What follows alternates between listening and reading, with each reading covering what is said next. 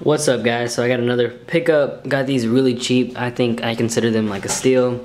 Uh, my dad actually went to uh, like a Goodwill and they had like the live auction and got these for like 25 bucks. They had them in the live auction. Um, nobody happened to bid on them and he texted me and was like, hey, do you want them? Got them super cheap. I was like, yeah, sure, why not? It happened to be my size.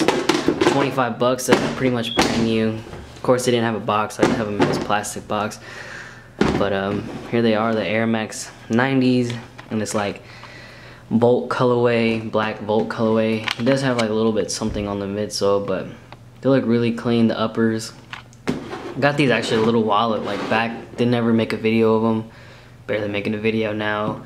Just showing something that it was picked up in the, uh, the live auction. You can see the uppers are really clean. Nothing really in the bottoms. I did wear them like once already, but for 25 bucks. You can't beat that.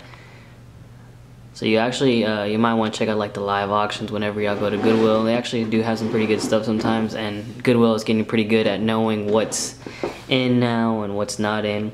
And uh, they kind of just throw it in there. They have people who specific job is for live auction. But yeah, I thought it was pretty cool that he got these Air Maxes over there.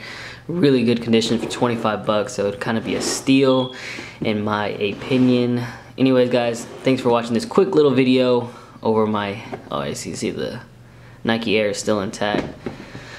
Over my Sneaker Steal thanks to shout out to my dad once again always coming through in the clutch. But anyways guys thanks. Much love. I'm out